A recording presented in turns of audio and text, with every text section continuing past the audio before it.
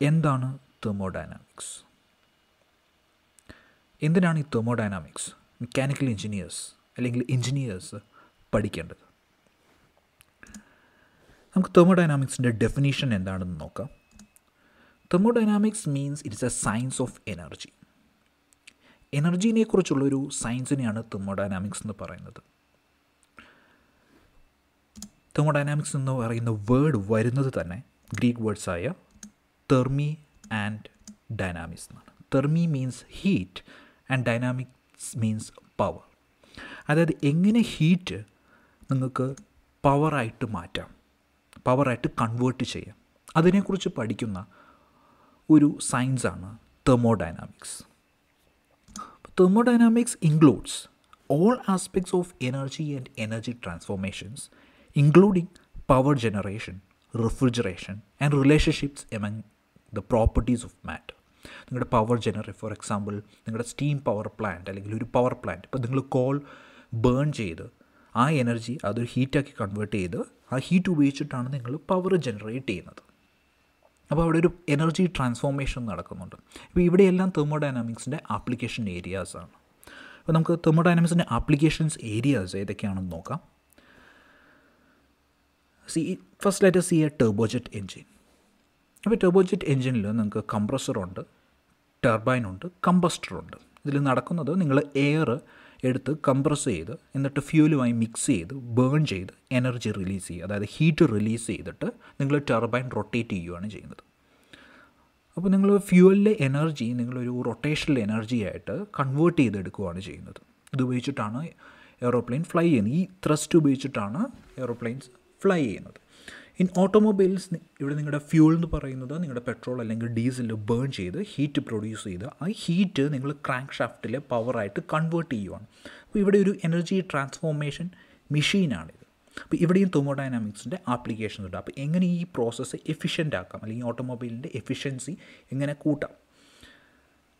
Then there is refrigerator ഇപ്പോൾ നിങ്ങളുടെ റെഫ്രിജറേറ്ററിൽ അല്ലെങ്കിൽ എയർ കണ്ടീഷനിങ്ങിൽ നിങ്ങൾ അകത്തെ എയറിന്റെ ഹീറ്റ് വലിച്ചെടുത്ത് നിങ്ങൾ പുറത്തോട്ട് സറൗണ്ടിങ്സ് അല്ലെങ്കിൽ അറ്റ്മോസ്ഫിയറിലേക്ക് റിലീസ് ചെയ്യുകയാണ് ചെയ്യുന്നത്. അതിനുവേണ്ടി നിങ്ങളൊരു കംപ്രസർ റൺ ചെയ്യുന്നുണ്ട്. ഈ കംപ്രസർ യൂസ് ചെയ്യുന്നത് ഇലക്ട്രിസിറ്റിയാണ് അപ്പോൾ ഈ എനർജി യൂസ് ചെയ്തിട്ടാണ് എയർ കണ്ടീഷണർ പ്രവർത്തിക്കുന്നത്. In power plants as we already seen ഇപ്പോൾ നിങ്ങളൊരു ഫ്യൂവൽ ബേൺ ചെയ്തിട്ട് അതിന്റെ അത് ഹീറ്റ് പ്രൊഡ്യൂസ് ചെയ്ത് ആ ഹീറ്റ് ഉപയോഗിച്ചിട്ടാണ് നിങ്ങൾ ഈ പവർ പ്ലാന്റ് റൺ ചെയ്യുന്നത്. നിങ്ങളങ്ങനെ electricity finally you are you get electricity at home അപ്പോൾ ഇവിടെയെല്ലാമാണ് തെർമോഡൈനാമിക്സിന്റെ ഇമ്പോർട്ടന്റ് ആപ്ലിക്കേഷൻ ഏരിയാസ് വരുന്നത്. അപ്പോൾ തെർമോഡൈനാമിക്സ് പഠിക്കുന്നതിന് മുമ്പ് നമുക്ക് എന്താണ് ഈ മാക്രോസ്കോപ്പിക് അപ്രോച്ച് അല്ലെങ്കിൽ മൈക്രോസ്കോപ്പിക് അപ്രോച്ച് എന്നുള്ളത് നോക്കാം. നിങ്ങളൊരു കണ്ടെയ്നർ എടുക്കുവാണെങ്കിൽ അതിന്റെ അകത്ത് ഗ്യാസ് മോളിക്യൂൾസ് ഉണ്ട്. ഈ ഗ്യാസ് മോളിക്യൂൾസ് എല്ലാം മൂവ് ചെയ്യുന്നുണ്ട് റാൻഡമായിട്ട് മൂവ് ചെയ്യുന്നുണ്ട്. ഇതിനെല്ലാം കൈനറ്റിക് എനർജി ഉണ്ട്.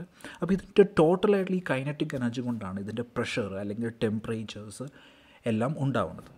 അപ്പോൾ നമുക്ക് പ്രഷർ മെഷർ ചെയ്യണമെങ്കിൽ നിങ്ങൾ ഇൻഡിവിജ്വൽ ആയിട്ടുള്ള ഗ്യാസ് മോളിക്യൂൾസിനെ നോക്കണ്ട. അതിന്റെ പ്രഷർ അല്ലെങ്കിൽ ടെമ്പറേച്ചർ അല്ലെങ്കിൽ വെലോസിറ്റി ഒന്നും നമ്മൾ അറിയണ്ട.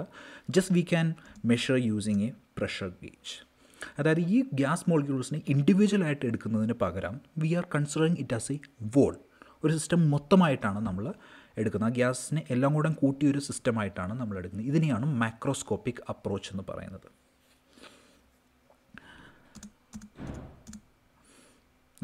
മൈക്രോസ്കോപ്പിക് അപ്രോച്ചിൽ നിങ്ങൾ ചെയ്യുന്നത് ഇൻഡിവിജ്വൽ ആയിട്ടുള്ള ഗ്യാസ് മോളിക്യൂൾസിന്റെ വെലോസിറ്റി ടെമ്പറേച്ചർ എല്ലാം നിങ്ങൾ ട്രാക്ക് ചെയ്യും. അത് വെച്ചിട്ടാണ് നമ്മൾ മൊത്തത്തിലുള്ള പ്രോപ്പർട്ടി കണ്ടുപിടിക്കുന്നത്. Macroscopic അപ്രോച്ചിൽ we are taking the system as a volley gas molecules എല്ലാം കമ്പൈൻ ചെയ്ത് ഒരു ഒറ്റ സിസ്റ്റമായിട്ടാണ് എടുക്കുന്നത്.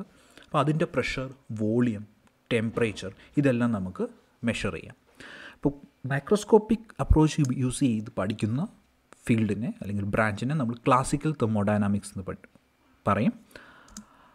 ഇൻഡിവിജ്വൽ ഗ്യാസ് മോളിക്യൂൾസിനെ എടുത്ത് നമ്മൾ പഠിക്കുവാണെങ്കിൽ we will call it statistical thermodynamics ഇത് മെയിനായിട്ട് യൂസ് ചെയ്യുന്നത് വളരെ ലെസ് ഡെൻസിറ്റി കുറഞ്ഞ gas for example rarefied gas ഇപ്പോൾ നമ്പർ ഓഫ് ഗ്യാസ് മോളിക്യൂൾസ് തീരെ കുറവാണെങ്കിൽ നമുക്ക് പ്രോപ്പർട്ടീസ് അങ്ങോട്ടും ഇങ്ങോട്ടും വേരി ചെയ്യും. അവിടെയാണ് സ്റ്റാറ്റിസ്റ്റിക്കൽ തെർമോഡൈനാമിക്സിന്റെ ആപ്ലിക്കേഷൻ വരുന്നത്. അപ്പോൾ നമ്മൾ ഇനി ഫർദർ നമ്മുടെ ഈ സ്കോപ്പിൽ എല്ലാം ക്ലാസിക്കൽ തെർമോഡൈനാമിക്സ് മാത്രമേ ഉള്ളൂ.